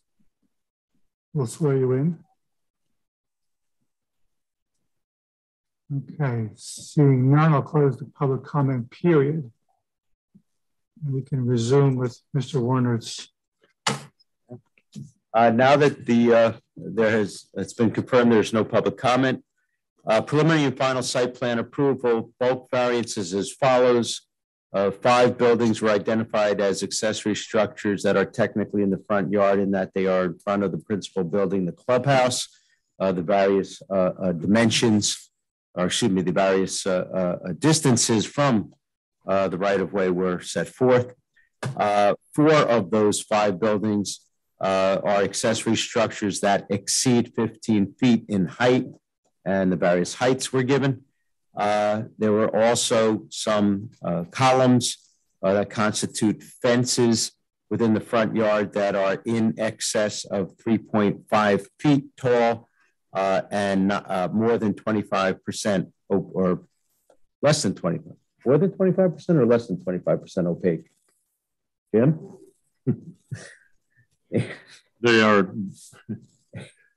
more than 25%. More than 25% opaque. Thank you, Jim. Uh, and uh, uh, technically, we uh, there continues to be a variance required or a new variance required for the total parking spaces, even though they are closer to conformity perhaps than was previously approved. There's still a deficiency in the number of parking spaces, 242 total proposed versus 616 uh, total required uh, is the Delta. Uh, and uh, the new parking spaces as were the old existing parking spaces, I believe continue to be nine by 18 as opposed to 10 by 18, which is what our ordinance is, what our ordinance requires. I believe that is all the relief that is sought. Anyone wish to correct me? I had one other item. There's a uh, six foot high fence that would still be considered in, in front of the primary structure. I mean, it's a technicality, but um, you know, one of the fences that's, um, I'll say facing Punchbowl Road, it's it's still over 600 feet back from Punchbowl Road, but technically it's in the front yard. Okay, and so then that would be another accessory structure in the front yard uh, being added to those five buildings that were identified, correct, Jim? Correct. Okay. Uh, if that is all on the relief, then that is all on the relief. Uh, and the stipulated two conditions in addition to uh, items one through nine in the TCC memo uh, and uh, the first two items uh, in the Environmental Commission memo with respect to stormwater management, maintenance and inspections, and native species for landscaping would be the continuation of the obligation of the applicant to comply with all uh, uh, uh, stipulated to conditions in prior resolutions to the extent same are not inconsistent with this approval, if it is an approval. Um, and I do not believe, but again, anyone and everyone correct me, uh, I do not believe there are any other conditions of approval that were independently uh, raised or stipulated to tonight with one addition, John. Actually, I have several. Uh, there's a emergency spillway that uh, you agreed to stabilize if necessary. Uh, there's a cast iron grate that's going to be replaced with an aluminum grate. Um, there's an embankment with landscaping that's going to be revised to secure the embankment only, no root intrusion. Uh, there'll be an operation manual for stormwater management and access agreements an exhibit for the site triangles on the access road. The washdown area will include a recycling component and a solid waste removal component. And I'm sorry if I'm repeating the environmental, but the trees are going to replace one for one deciduous with deciduous, evergreen for evergreen. And all open permits will be closed prior to uh, approval being finalized. To the extent not already closed. Uh, Mr. Calli, uh, did we add anything that you think uh, was not stipulated to, or did uh, feel free to let us know if we missed anything? No, I, I appreciate you asking. I, I have all of that captured in my notes as well, and and those are all conditions the applicant's amenable to undertaking. And, I have a few more. I mean, some of these are kind of technicalities, but uh, provide a sloping trash rack, trash rack for the uh, low flow orifice uh, we will provide the, uh, the no plant list uh, to the golf club, uh, and that'll be reviewed and checked. Um, copies of the LOI or, or, any wetland permits will be provided as, as they are obtained. And uh, a sanitary sewer connection fee will be required in accordance with ordinance uh, requirements. And, and, that was the last items I had. Still no objection, Mr. Calli? No objection. I'm running out of paper though to write the conditions. So That's right. done. Yeah, but we have a Franken attorney here. We have a three-headed uh, attorney monster that we discussed with all these conditions. Um, the, uh, so that, that is what we have. But in the event it's an approval, Mr. Chairman, if it's a denial, there will be no conditions. Uh, but it's for the uh, board, hopefully now, to deliberate and vote. Uh, and uh, we do have how many members? Nine. I lost track. do we have nine? I had it at the beginning. I believe we have nine board members, so uh, five out of nine for passing. You have nine. Um, board members, any Here, comments? One, two, three, four, five, six, seven, eight, nine. Uh, Mr. Chairman? Mr. Lesso. I'll make a motion that we approve this application based upon the resolute, uh, excuse me, stipulations that were steps uh, stated by our, our counsel and uh, the rest of the three-headed monster. This is Linda Murphy. I second that motion. Second by Ms. Murphy. Um, on the roll call.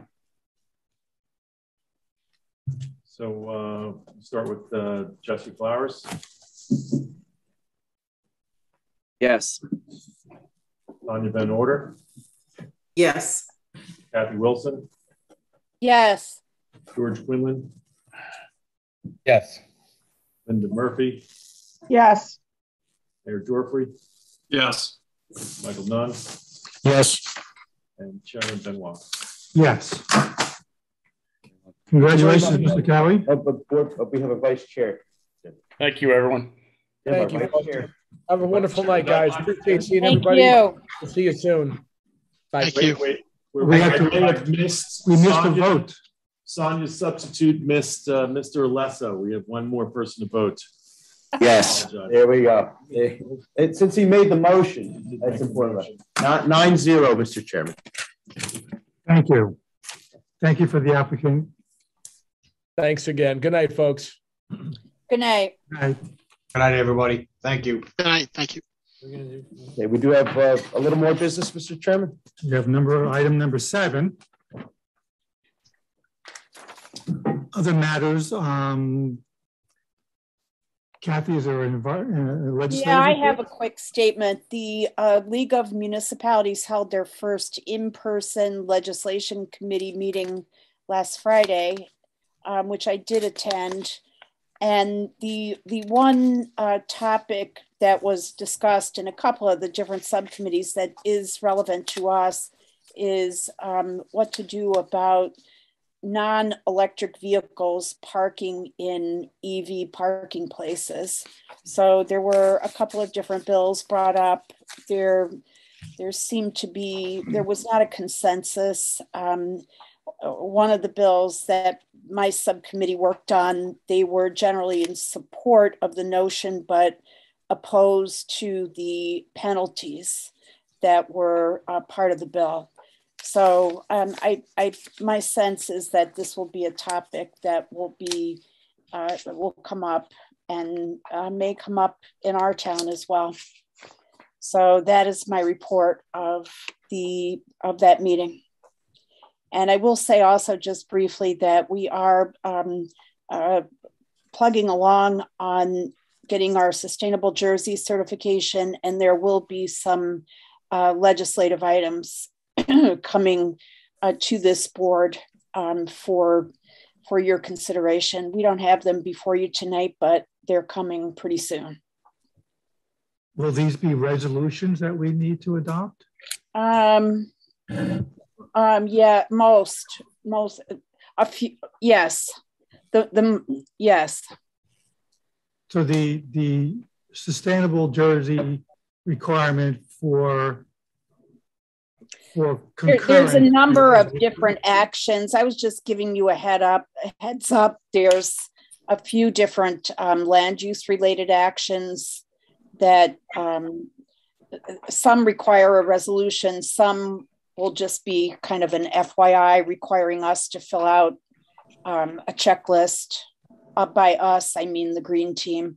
So this is the first time we've ever applied for certification and um, there's various forms of documentation that are needed and various pieces of information that will be need to share with different boards. Kathy, this is Linda. I just have a question of you, if I may. Yes. Um, is there any way that you can share in advance some of the Sustainable New Jersey certification criteria, especially how it would apply to the planning board or perhaps the Board of Adjustment in advance of our um, in advance of the meeting? Yeah, in advance of our meeting or in advance of our discussion so that people have an opportunity to kind of look at it and, and try to understand it. Yes, yes. I, agree. That's important.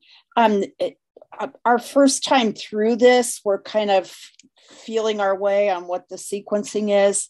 Uh, we have before us right now a sustainable land use pledge, which um, which is going to be come before the governing body and then will be shared with the land use boards. So um, it's, um, I don't think the planning board will be meeting again um, before this comes before the township committee. But uh, your point is well taken, Linda. We're, we're, we're kind of, we're going through this on the first time and kind of uh, struggling a little bit with how to structure the sequencing of things. Thank you. How does it work, Kathy? If we missed an application, you, you can apply again next year? way it works is that um, there's the, it, the initial um, requirements, we, we have to submit our initial um, application materials by May 22nd but then they review it. They, Sustainable Jersey, reviews it at their end and they get back to us with feedback. So then we have a chance to revise again and submit again in August. And then there's a second opportunity for revision at our end. And the, the final sort of, you know, drop dead date is um, November. So we are reasonably sure we should be able to get everything done by November. There are things that we will not have finalized by May, but we can notify Sustainable Jersey that we're planning to work on it. Yeah, just to, if I may, I'm sorry. Another question. This is Linda.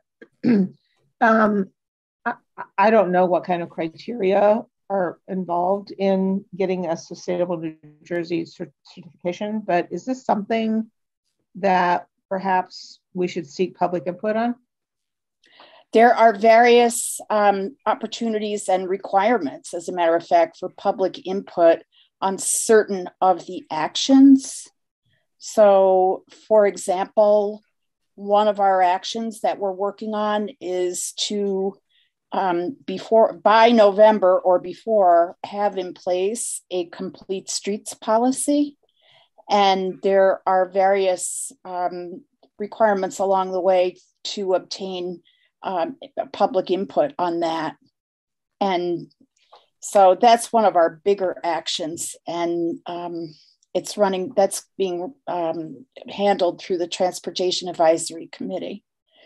But different, you know, what I what I can send um, I can send to the board a list of the actions that we're undertaking if you if people would be interested in that. There, there the categories that overlap planning board interests are um, land use and transportation and natural resources. And then there's another category on community outreach.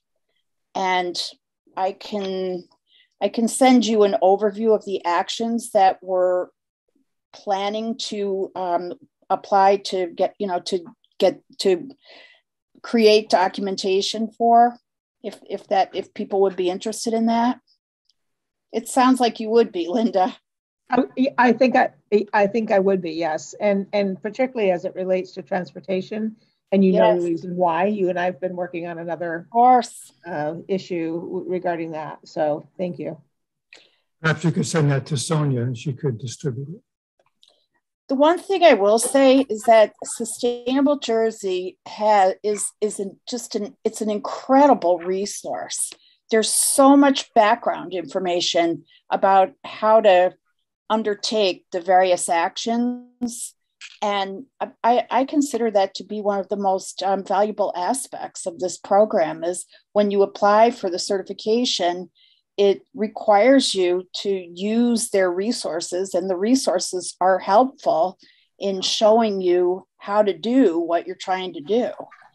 But we're going through it for the first time so we're you know we haven't um, worked through all the bugs before. Are there are there certain benefits we get from being sustainable, or is it like a feel good thing? Um, the process of getting certified, you know, there are certain things like from a from afar we say we do that, but when you kind of dig into it, um, to to to to you know to comply with the certification requirements, it does require certain um, improvements and I just, I think it's a good thing for us to do. It's not just feel good, it's improvement in our practices with guidance from an organization that has a lot of experience um, around the state and with other um, municipalities. I think there are more, than, what, about 250 plus uh, towns that are certified through Sustainable Jersey. One, one last question, Kathy, if I may. Um, mm-hmm. is, is this a certification process that it's once and done, or is there an ongoing certification requirement? Um, you you do it, and then I think it's like two or three years later you renew, but certain of the actions are um, kind of ongoing, you know, and when you reapply in the future, you have to renew. It, it will definitely be easier in the future because we'll have certain things, excuse me, in place that we can just draw on again. We're, we're starting with no documentation right now. so, um, but yes, it, it can be renewed. And honestly, as I work with this, there are lots of things we do that we could get points for. What we're trying to do uh, the green team, we're handling the documentation and we're trying to proceed uh, with kind of minimal um, impact on our professionals. We're very mindful that people are really busy and have a lot on their plate, and we're trying to not um, make any excessive demands on anybody's time, but at the same time, keep people informed on on what we're doing. So we're trying to balance that.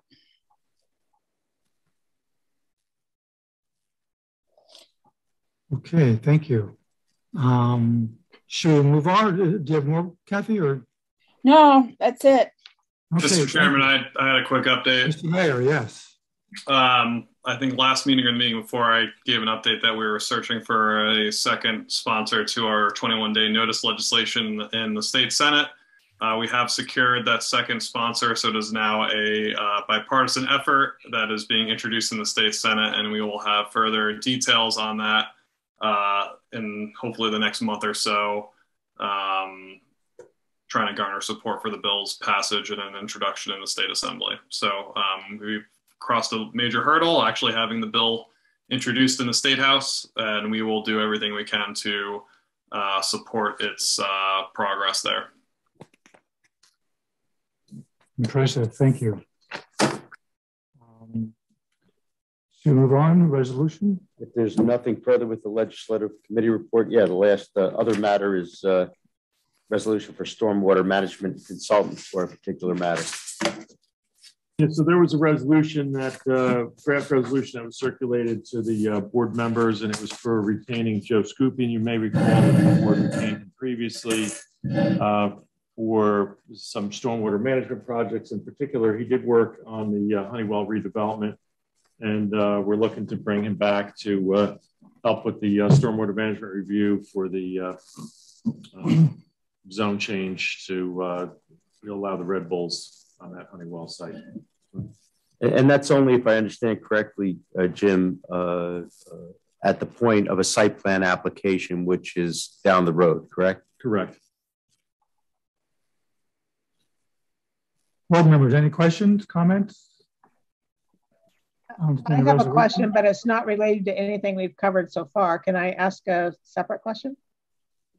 Is it related to this resolution or do you want to make it later on? No, it's not related to anything we're discussing right now.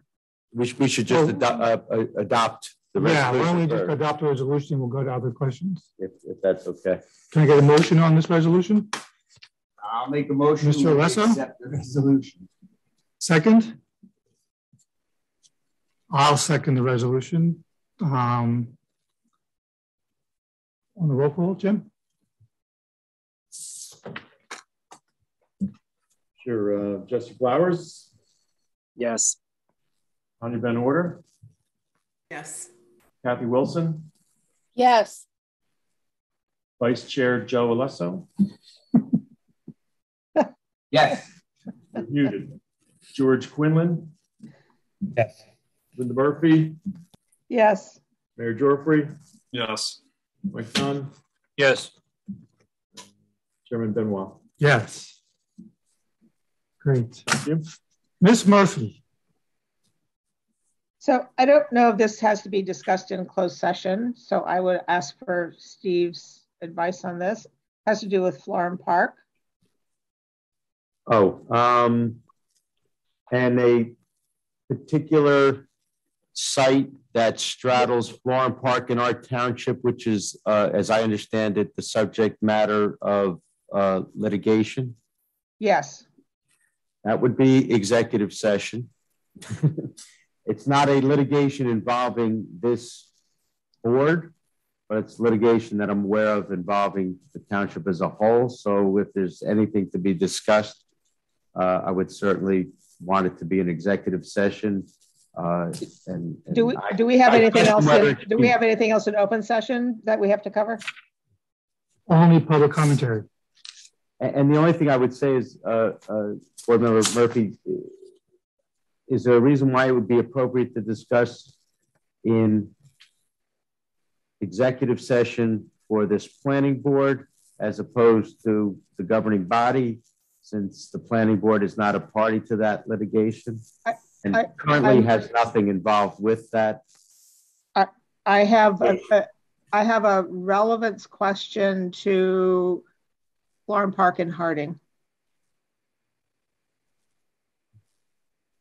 I defer to the chair if we want to go into executive we can, session. We, we didn't. Uh, we we have ex, uh, we have executive session available uh, on the agenda, so we can do that. So why don't we first um, open up to members of the public for any public comments they may have on anything pertaining to the planning board, but not related to the applications that we discussed this evening.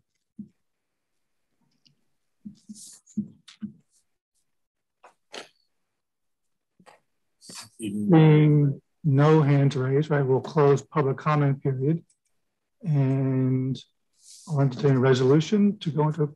Yeah, we just need a, uh, would be a resolution to go into executive session uh, under uh, the exception number seven of the Open Public Meetings Act, which provides for attorney client privilege communications as well as specifically uh, uh, privilege and confidential uh, discussions regarding pending or anticipated litigation. This, I believe, would be pending litigation at least related to pending litigation. Uh, so it is uh, uh, uh, an acceptable exception to the Open Public Meetings Act. And any information discussed during this executive session, when it can be released, would be released after it's no longer required to be maintained as privileged and confidential.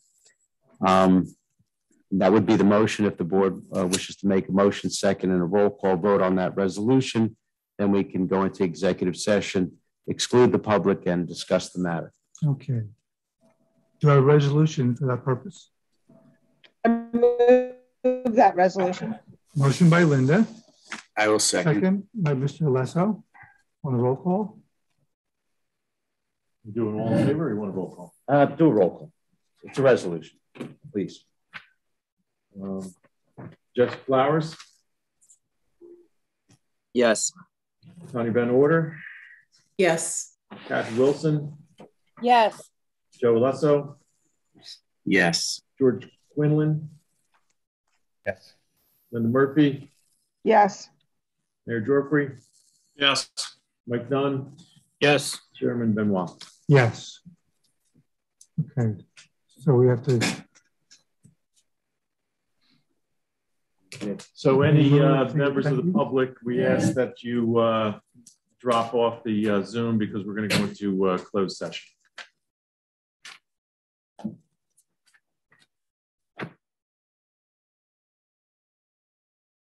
Is that there? Why, why don't you just ask for, You get good notes on that? I got a great note.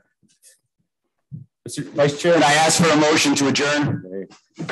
No, no, no, no. We have to discuss what's coming up at the next meeting. Oh. Have, Oh, I'm sorry. uh, come on, Sonia. 18th, April 18th meeting is the Savage Minor subdivision and uh, continuation of the Anna management application. Which one will be first?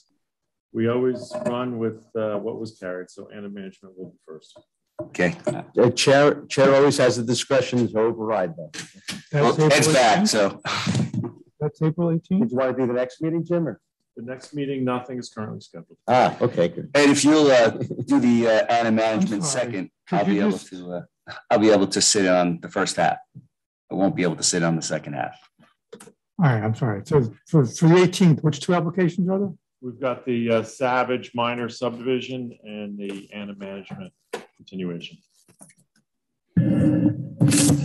And I'm not available. To, um, I have to recuse myself from the Anna management because of a conflict. oh, so we'll do that second. please, for So you wouldn't mind, that way I can stop in. on me. Any objections to that? I think that's how you're going to do it anyway. I like it too because I'm recused as well. Okay, so we'll do that. Very good. Oh. Can I make a motion to adjourn now? Well, who else would check my notes. Yes, you may. But the chair, the All chairman. in favor? The chairman's back, so he'll call the roll call. Well, you already made the motion. Who seconded it? I second. Chief Dunn. Chief Nunn, all in favor? Aye. Aye. Any opposed? Okay, We did it. thank Go you. Kansas. Thanks, everyone. Good night. Everyone. Night. Good night. Night, everyone. Bye-bye.